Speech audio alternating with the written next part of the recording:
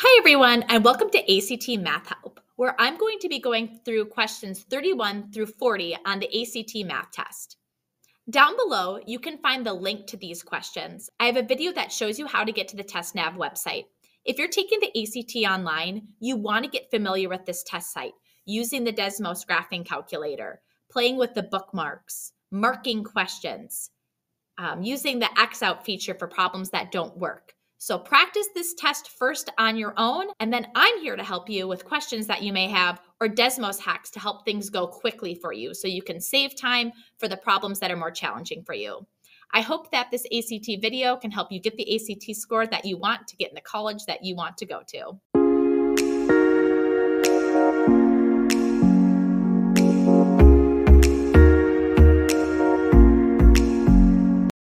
Question number 31. The vector i represents 1 mile per hour east, and the vector j represents 1 mile per hour north. Maria is jogging south at 12 miles per hour. One of the following vectors represents Maria's velocity in miles per hour. Which one?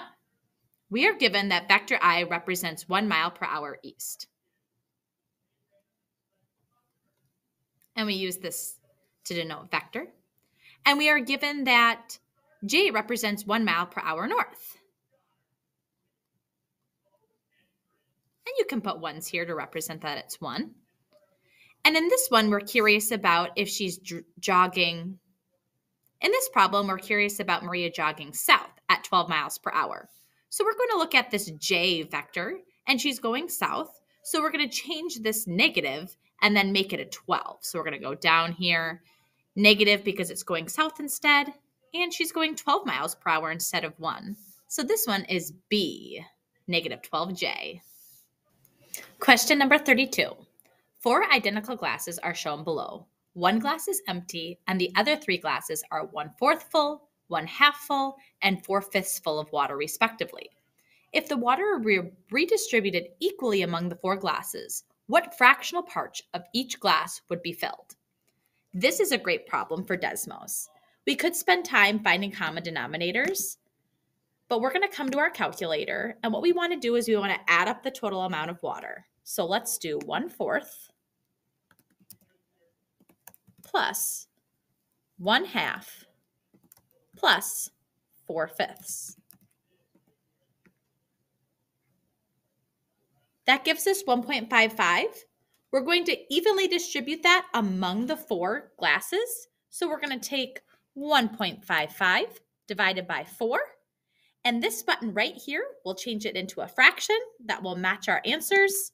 And so if I press that, I see that I get 31 over 80, which is option E. Question number 33. Aurelio was purchasing carpet tiles to cover an area of his living room floor that is 8 and 1 3 feet wide by 10 feet long. Each carpet tile is a square 20 inches wide by 20 inches long. What is the minimum number of carpet tiles that Aurelio must purchase to cover this area of his living room floor. So we have a rectangular floor here that is eight and one third feet wide by 10 feet long. And notice that these are in feet and these are in inches. Since the tiles he is buying are in inches, I'm going to change these feet into inches by multiplying each of these side lengths by 12. So 10 times 12 is 120 inches. And eight and one third, if we put this into our calculator, it's going to give us um, a repeating decimal. Uh, one divided by three is 0.3 repeating. I can end up with a nice number if I change this into an improper fraction. 3 times 8 is 24, plus 1 is 25. So I'm going to do 25 thirds, and then I'm going to multiply that by 12. 12 divided by 3 is 4, and 4 times 25 is 100. But if I didn't know that, I could always just plug that right into my Desmos calculator. I can do 8 and 1 third times 12. To get the area of the living room floor, it's 100 times 120. And that is 12,000 inches squared.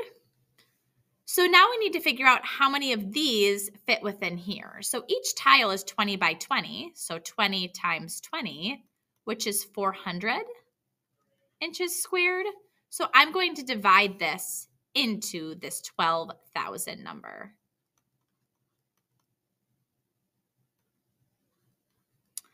And when I divide 12,000 divided by 400, I get 30. Question number 34. In the standard xy coordinate plane, a circle with its center at 8, 5 and a radius of 9 coordinate units has which of the following equations? The equation for a circle is the quantity x minus h squared plus the quantity y minus k squared equals the radius squared. The center has parameters h and k, and 9 is the radius, r. Let's plug those into this equation. x minus 8 squared plus y minus 5 squared equals 9 squared. And 9 squared simplifies to 81, so I'm looking for this. And I can see that that's the first option A. What if I don't remember this on the ACT? This is where Desmos can come to the rescue. I can come here and I can just start typing these equations in and seeing which one has a center at 8, 5 and a radius of 9. So maybe you just want to start from the top and come down. So I have the quantity x minus 8 squared plus quantity y minus 5 squared equals 81. I just fit the viewing window nice so we could see this. But this looks like here that if I go over to 8, 5, it looks like that's the center of the circle there. If I look at the radius portion, it goes from negative 1 to 17, and that's a distance of 18 for the diameter. So if I half that, I get 9. I can also use Desmos as a visual tool if I don't remember the equation for a circle. We are going to use this prompt for the next four questions. Question number 35. Many humans carry the gene YQ77.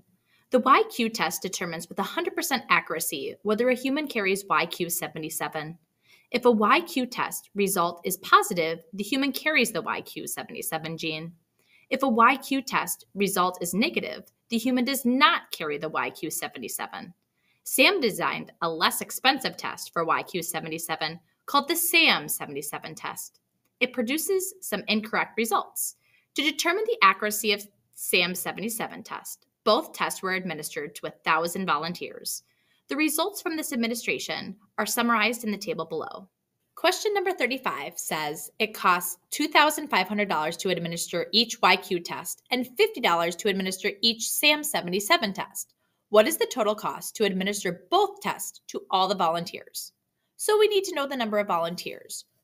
We can find that right over here. There are a thousand volunteers. So it costs 2,500 for the YQ test. So I'm going to multiply that by the 1,000 volunteers. And I need to add that to it cost $50 for the other test. So 50 times 1,000. I can multiply these two things together or come right up here to my Desmos calculator. Typing this in really quick.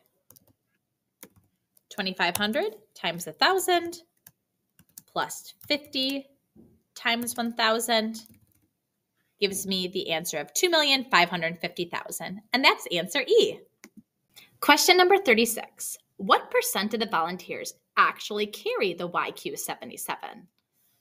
In this case, we're going to be looking at the positive YQ test column. We're going to add these two numbers together. So we have 590 plus 25 over our total, which is the 1,000 volunteers. When I add these two numbers together, I get 615, and I forgot a zero there, and then over a 1,000. That as a percentage is 61.5%. If we would just type that into a calculator, we can verify that. Question number 37. For how many of the volunteers did the SAM 77 test give an incorrect result? Let's recall that the YQ test determines with 100% accuracy. In this table, we are looking to see where the results for both of the tests match. We had a positive SAM 77 test and a positive YQ test. So this one checks out the 590. Where there are both negative, that will also check out. So right here with a negative YQ test and right here with a NAMS and right here with a negative SAM 77 test. So what we are looking at are the places that it doesn't match, and that's here and here. So we're going to add 25 and 10 together, and that gets us 35. So there were 35 either false positives or false negatives. Question number 38, and our last question that uses this prompt. One of the volunteers whose SAM 77 test result was positive will be chosen at random to the nearest point 001. What is the probability the chosen volunteer does not possess YQ77? So in this case, we're doing a probability problem. So we want the number of favorable outcomes.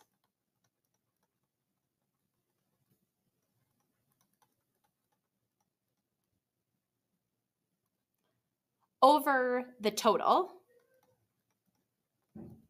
In this case, our total is the positive results. So 590 plus 10 will get us that total.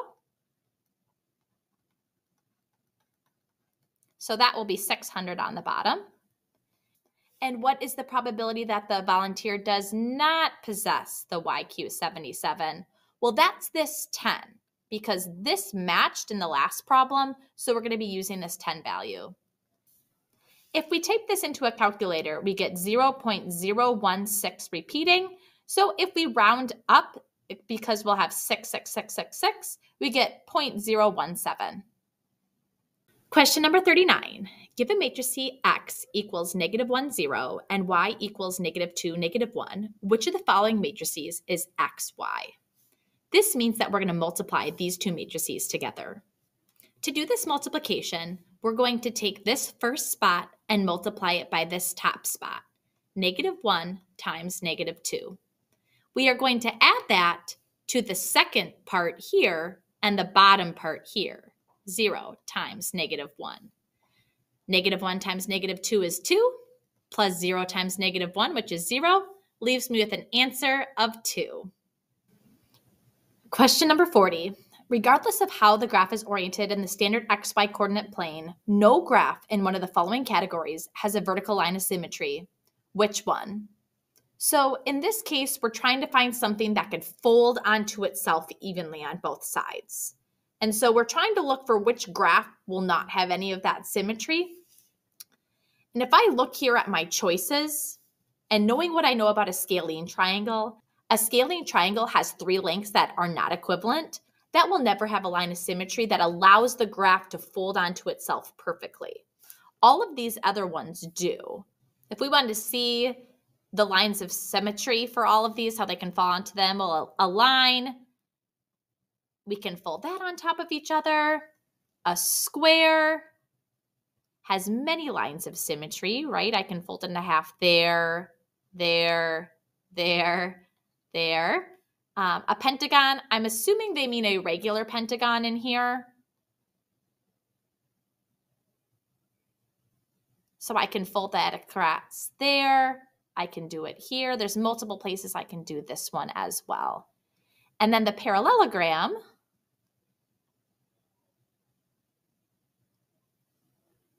it will fall on top of itself on the diagonals. But we can jump right to the scalene triangle because we know that none of these have equal side lengths.